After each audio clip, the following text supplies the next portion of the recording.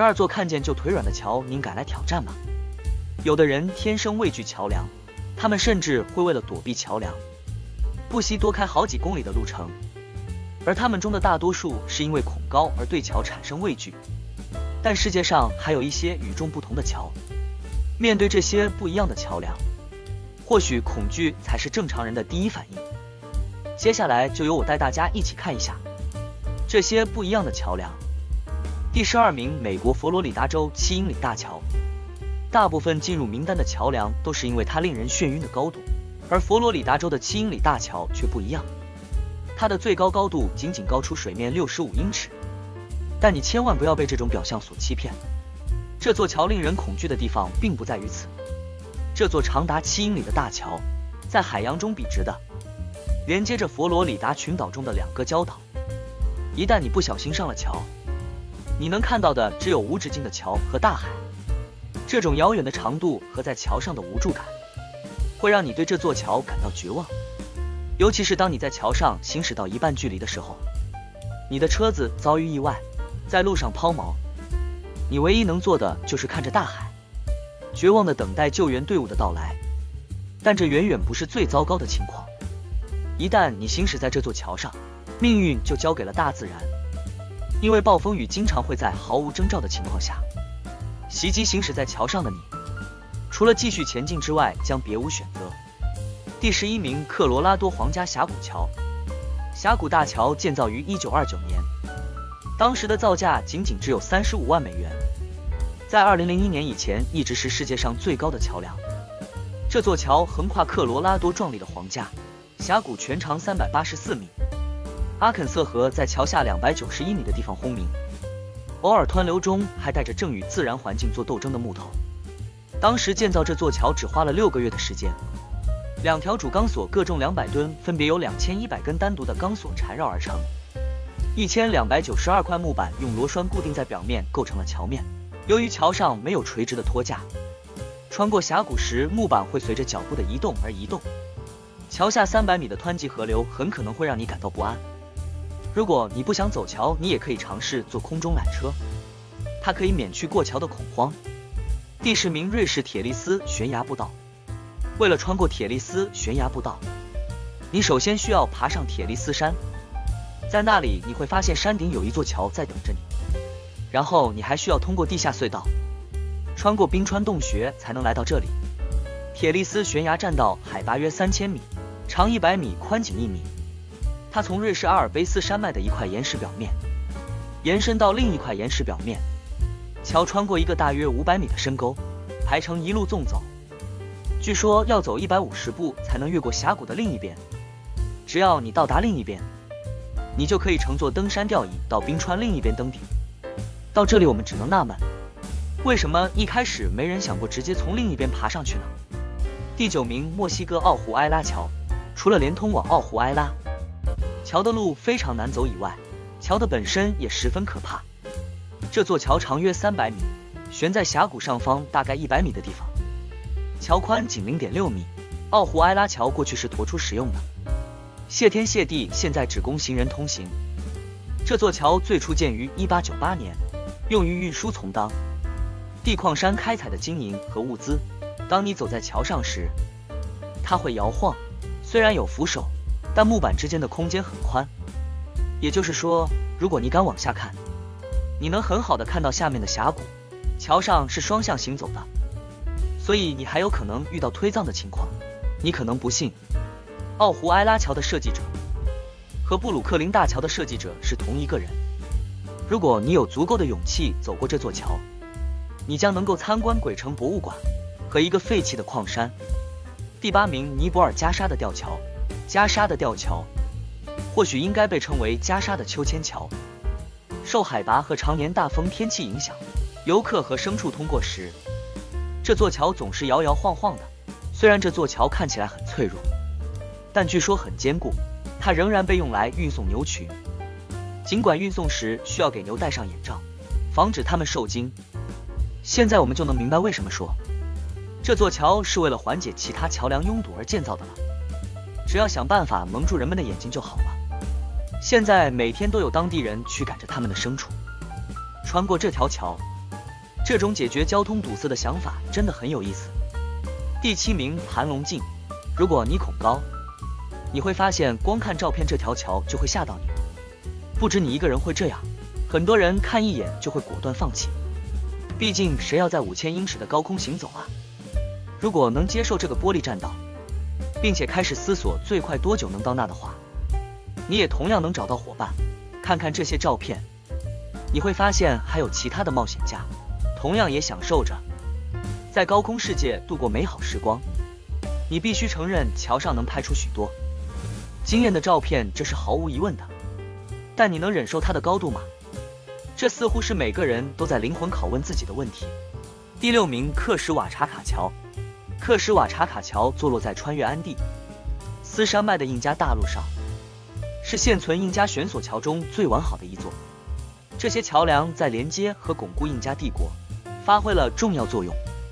在之后的几个世纪里，它们一直以道路系统的组成部分继续被使用。在冲突时期，为了保护居民免受入侵者的侵扰，有些桥被砍断。当西班牙人入侵时，许多桥梁被烧毁。印加桥的桥面栏杆制作系统与栏杆之间的垂直纽带都是用天然之绳制成，起到保护作用。桥的两边用钢柱把缆绳固定。不得不说，过桥不会是一场平稳的经历。桥体松散的特性让过桥的人可以很好的看到下面的河流。当地社区每年都会组织更换这座桥，居民收割青草并将其编织成缆绳。桥两边的居民会合力。把绳子连通至对岸，在新桥建好之前，他们不会拆除旧桥。每个社区从各自的一端开始工作，并在桥的中间汇合。整座桥可以在三天内重建。之后，社区会聚集在一起庆祝。这也听上去像是唯一正确的事情。第五名，俄罗斯康丁斯基桥。你必须有钢铁般的意志，才能让人肾上腺素飙升的摇摇晃晃的桥上开车。要通过跨贝加尔湖地区的这座康丁斯基桥，司机必须穿过一条六英尺宽的小路，且这条小路没有任何防止他们掉进下面结冰的水中的栏杆。更糟糕的是，旧的金属结构表面是木板，频繁的冰雪让木板变得非常滑。根据猎奇网的说法，康丁斯基桥横跨维提姆河，最初是贝加尔湖装甲干线铁路的一部分，然而这一计划并未实现。于是，周边一千五百名居民可以自由使用这座桥，如果他们敢的话。据称，这座破败的桥自建成以来，已经三十年多年没有进行过维修。如果真有人鼓起勇气，这本来就是一次令人紧张的驾驶，再加上桥上可怕的强风，随时可能横扫这一千八百七十英尺长的大桥。据说司机过桥时要把车窗摇下来，以防止风把车辆吹翻。据拍摄了这座破败桥的俄罗斯博主 s i r k d o l i a 所说，他十分惊讶地发现，网络上没有任何与康定斯基桥有关的事故或死亡记录。然而，他推测这可能是因为足够勇敢的司机数量有限。第四名，中国洪崖谷玻璃桥。有时桥梁设计师似乎是扭曲的虐待狂。二零一七年底落成的洪崖谷大桥的设计团队。建造了一座长四百八十八米、垂直落差两百二十米的桥，这对大多数人来说已经足够头大了。但设计师决定将桥面改成玻璃地板，这样人们就可以看到脚下山谷的美景，并欺骗他们的大脑，让他们相信自己凌空在山谷之中。似乎这还不够，他们还决定让桥晃动起来。玻璃面板只有有四厘米一点六英寸厚，这看起来似乎不太够。毕竟，它让你和死亡只有一面之隔。这座桥可以同时容纳两千人，但为了以防万一，只允许六百人在上面行走。参观者必须戴上鞋手套，以防止玻璃被刮伤或打碎。这显然是玻璃桥相关的事。虽然管理者在桥上安排了工作人员去帮助那些感到头晕的人，但这又有什么用呢？这座玻璃吊桥的设计者为他设计了额外的音效。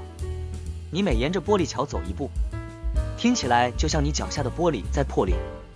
第三名，巴基斯坦侯赛因吊桥。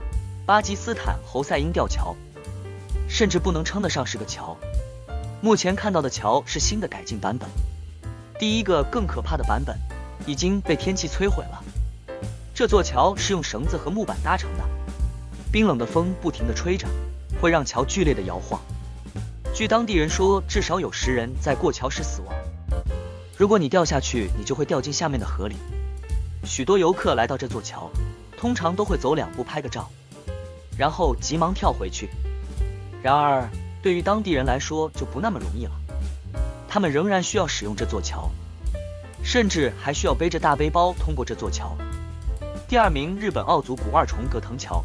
在日本足古当中，有一座看起来很不寻常的桥，叫做藤条桥，位于群山和温泉之间。藤桥长四十五米，只有十四米是在伊亚河上面的。它在恐怖方面的不足用怪异弥补了。它是用一种叫做耐寒猕猴桃的植物建造的。虽然它相对强壮，但并不适合建造桥梁，因为它不耐用，而且容易腐烂。这在桥上可不好。然而，据说是故意使用耐寒猕猴桃这种植物的呢，这样在入侵者的情况下，桥可以迅速被砍倒，这样就可以阻止侵略军越过峡谷。桥每三年重建一次，藤蔓被挂在峡谷两边高大的雪松上，在如今健康和安全的日子里，藤蔓里还藏着钢绳，以防万一。然而，绳索之间有很大的空隙，可以垂直看到下面的河流。过桥时摇晃的桥。足以把大多数游客吓得死去活来。第一名，日本江岛大桥。江岛大桥位于日本西部，看起来更像是一座过山车，而不是一条路，连接着日本鸟取县静冈市和岛根县松江市。总的来说，这座桥就是一条通往外太空的高速公路，是一条通往恶心呕吐之路的捷径，是一段惊心动魄的汽车之旅。它是世界上最壮观的桥梁之一。这座桥是一条双车道的混凝土道路，它的坡度很陡峭，常常让最勇敢的司机都感到恐惧。作为这座桥主要特色的陡坡构成的桥洞，可以让船只轻松驶过。这条长达一英里的水泥路横跨中海湖，司机需驶过坡度为百分之六点一的桥面，方能穿过中海湖。这座桥长一点四公里，宽十一点三米，高约四十四米。它是日本最大的一座钢架桥。如果你直视这座桥，那夸张的陡坡看起来像是一座过山车，而不是一条汽车行驶的公路。